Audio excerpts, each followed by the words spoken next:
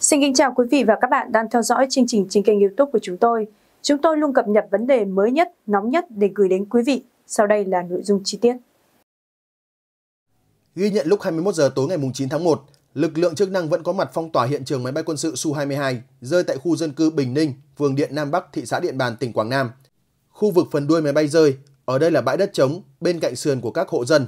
Tại hiện trường, xe cẩu, máy cắt cùng các thiết bị khác đã được đưa vào. Hàng chục chiến sĩ công nhân tiến hành cưa cắt phần đuôi máy bay. Cách đó vài chục mét, một tốp chiến sĩ sới tung khu đất, dọi đèn pin và tìm kiếm mảnh vỡ máy bay. Xe quân đội liên tục chở các thiết bị, mảnh vỡ từ máy bay ra khỏi khu dân cư trong đêm.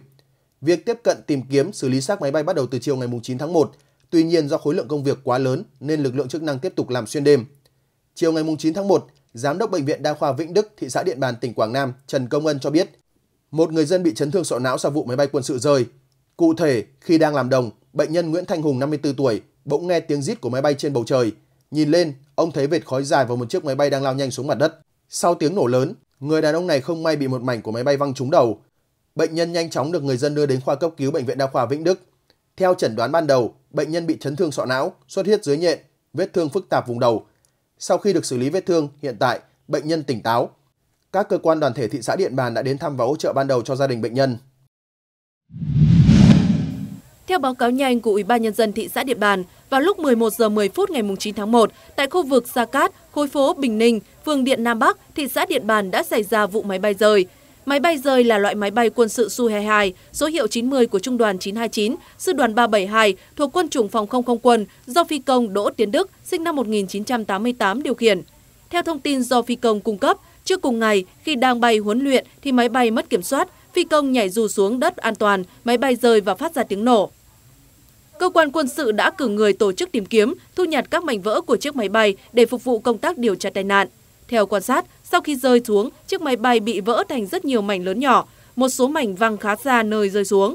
Trong số đó, một số mảnh vỡ lớn đã được cán bộ quốc phòng thu thập, vận chuyển ra ngoài.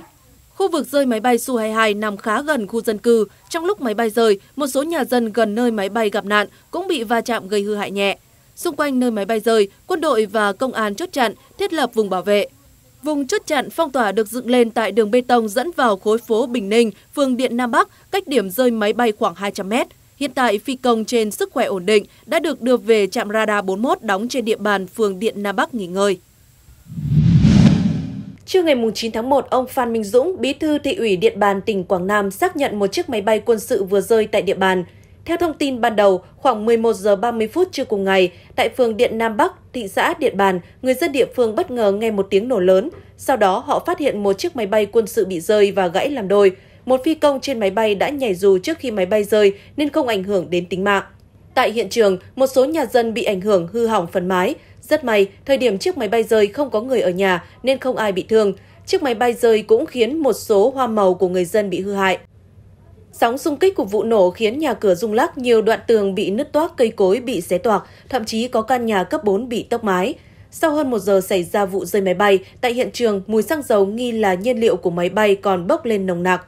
Anh Lực, thôn Ninh Bình, xã Điện Thắng Bắc cho biết khoảng 11 giờ 15 phút, anh đang nằm trong nhà thì nghe một tiếng nổ lớn, khiến mặt đất rung chuyển. Anh chạy ra thì thấy phần đầu máy bay bị cháy, cột khói bốc cao hàng chục mét. Anh Trần Đạt cho biết, lúc đó anh đang ở nhà thì nghe tiếng rít rất lớn, rồi một tiếng nổ cực lớn vang lên, ngọn lửa bao trùm cả khu vực. Thời điểm máy bay rơi, mẹ anh nằm phía sau nhà sát bờ tường, lực nổ máy bay ép tống làm vỡ bức tường, khiến mẹ anh văng ra xa rất may không bị thương. Theo nhân chứng Nguyễn Thành Cấp tại hiện trường, máy bay rơi thành hai phần, phần đầu cách phần đuôi máy bay khoảng 100 mét, phần đầu nằm ở khu vực ruộng lúa sau nhà dân, cánh cũng rơi ở ruộng. Cánh mảnh vỡ khác rơi ở nhiều nơi, theo ông Cấp khi tiếp cận phần đuôi máy bay thì thấy khói đen ngòm và nghi ngút. Ông Cấp cho biết một phần máy bay rơi trúng nhà ông Nguyễn Thanh Chính ở tổ 8 khối phố Bình Ninh. Phần nhà dưới của ông Chính bị sụp một nửa bên trái, mái ngói bị văng ra ngoài. Lúc này trong nhà có người nhưng may mắn không bị thương. Sau khi tiếp nhận thông tin, cơ quan quân sự, công an thị xã Điện Bàn và các cơ quan chức năng của tỉnh Quảng Nam đã có mặt tại hiện trường để điều tra nguyên nhân. Máy bay vừa rơi thuộc biên chế Sư đoàn Không quân 372 đóng tại Đà Nẵng. Máy bay Su-22 đang được Sư đoàn Không quân 372 sử dụng, là tên xuất khẩu của dòng máy bay Sukhoi Su-17 phát triển từ thời Liên Xô. Loại máy bay này được sản xuất vào cuối thập niên 1980 đến 1990. Theo thông cáo của Bộ Quốc phòng, sáng ngày 9 tháng 1, Trung đoàn 929, Sư đoàn 372, Quân chủng Phòng không không quân tổ chức bay huấn luyện ngay tại sân bay Đà Nẵng theo kế hoạch.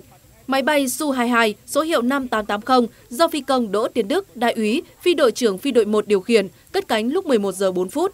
Đến 11 giờ 14 phút, phi công báo máy bay gặp sự cố không thể về hạ cánh được.